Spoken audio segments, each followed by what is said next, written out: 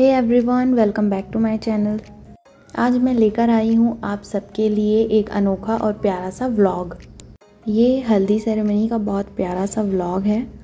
तो सबसे पहले स्टार्ट होता है यहाँ का डेकोरेशन और इसके बाद हम हल्दी भी रेडी कर लेते हैं. इसके बाद ब्राइड एंड ग्रूम का फ़ोटोशूट होता है. फ़ोटोशूट उनका जब कंप्लीट हो जाता है तो वो आते हैं स्टेज पर और वो दोनों की साथ में ही एंट्री होती है.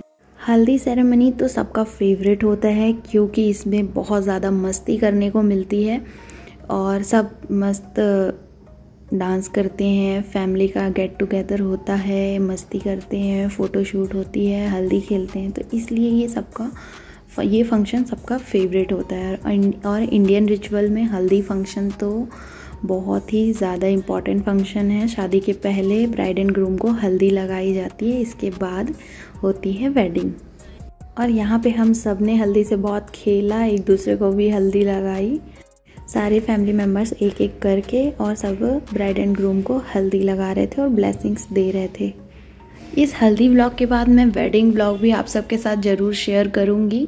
तो प्लीज़ मेरे वीडियो को लाइक करिए अगर आपको अच्छा लगता है तो और मेरे चैनल को सब्सक्राइब करना बिल्कुल भी नहीं भूलिएगा।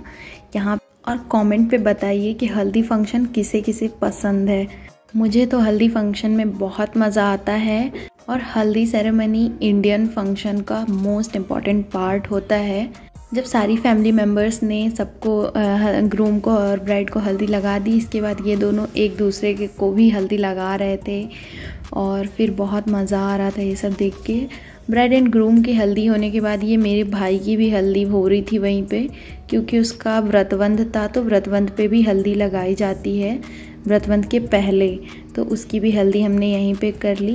फिर यहाँ पे रूम को मेहंदी लग रही है। ये दोनों बहनें मेरी यहाँ पे रूम को मेहंदी लगा रही हैं। इसके बाद स्टार्ट होता है डांस